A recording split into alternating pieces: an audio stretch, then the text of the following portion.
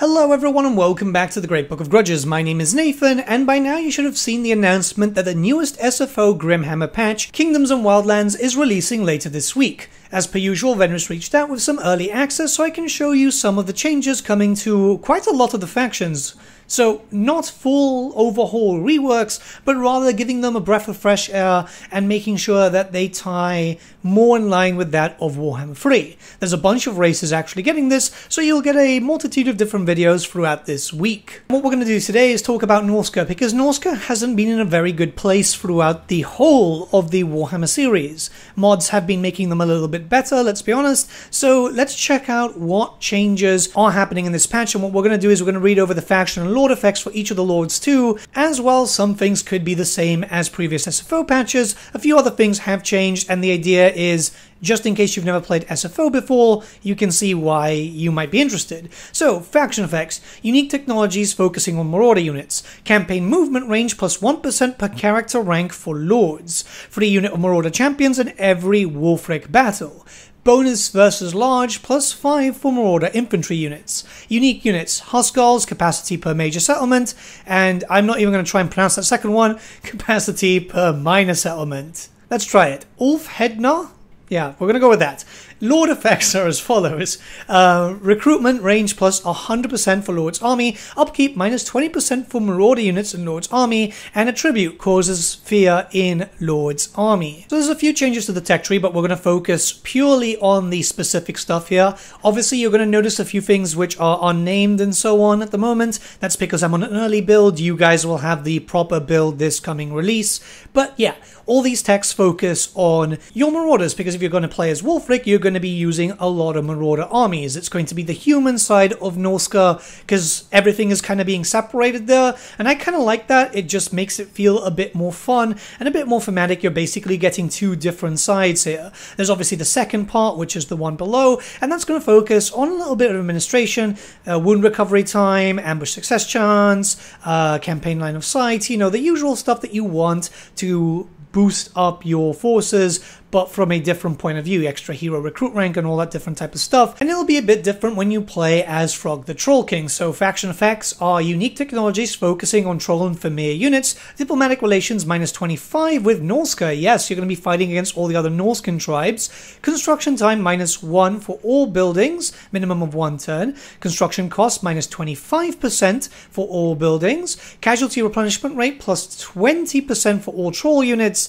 and unique units, river trolls, trolls, stone trolls, and bile trolls. When it comes to Lord effects, we have the following Control plus 5 in own local province, all units in Throgg's army immune to all attrition, uh, Chaos Undivided Corruption plus 5 for local province, and income from all buildings plus 25% for local province. So when it comes to tech with Throgg, you're going to have the same format in terms of layout styling, but it's going to be very different, okay? So the top stuff is going to focus on your trolls, all the usual type of stuff that you would expect from a monster-based army, whereas the bottom stuff is going to focus mostly on again administration but a little bit different. So you're going to get more control you're going to get more uh, corruption being spread out uh, minus enemy growth more growth for you income from buildings. It's going to be a lot different to say Wulfrik who focused on heroes. This is to give you more incentivization to play both factions. If you like Wulfrik's Marauder base one there you've got it. And if you want to play more haughty monster type of situation, well, then you've got Throgg.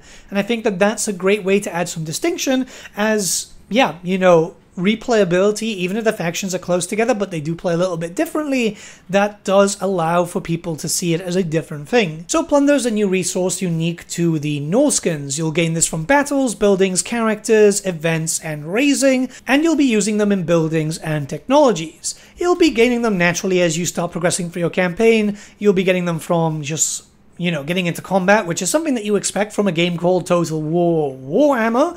And yeah, just the usual stuff. There's not a lot. There's actually a peak a limit of 1000 so you're going to have to make sure that you're using them and not just putting them to waste this is going to go into other buildings for example which will generate naturally one per turn all the way up to five per turn i believe so it's not like you're going to find yourself wanting this is obviously quite important to keep an eye out because it does become part of your key Norscan experience now. You would have already noticed some changes over here, but we'll talk about that a little bit later as we still need to talk about technology. You see, Plunder itself is linked up to a bunch of your technology, and this can be found in the Plunder section. I'm a massive fan of modders diversifying the different types of technology by making separate tabs, as it just makes it easier on the eye. So this is stuff that you're already used to. A few things have changed in terms of, you know, just the bonuses provided and so on. Some of them are a little bit better now.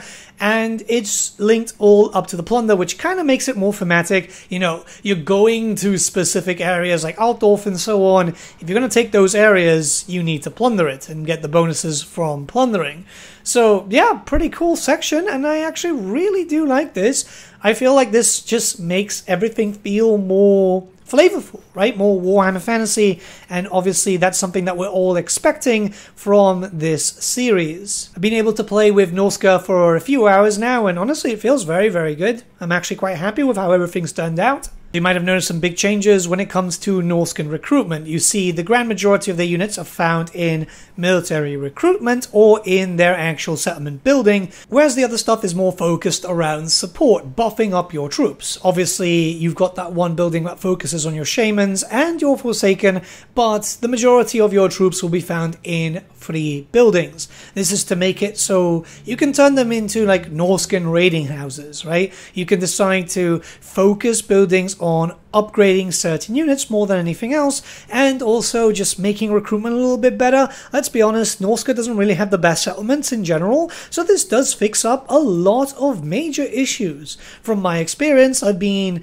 recruiting troops a lot faster, actually, which means that even early into my campaigns, I've been having more varied stuff, I've been getting more higher tier units, and I've actually been able to pack more of a punch, which is desperately needed when other factions such as the Empire do start getting into the higher tier units a little bit quicker. So now I actually have a little bit more to hit with. So a little change here, which is actually quite good, is that raising settlements, obviously you'll get your usual bonuses, but now it also replenishes movement range for your characters that do the actual raising, and you'll also generate plunder per turn. The movement capacity replenishment is actually quite good, considering that uh, sometimes you might be pushing into an enemy territory, you just want to get rid of certain buildings, you want to build up there as it's going to lock you down and yeah, you're going to become a target.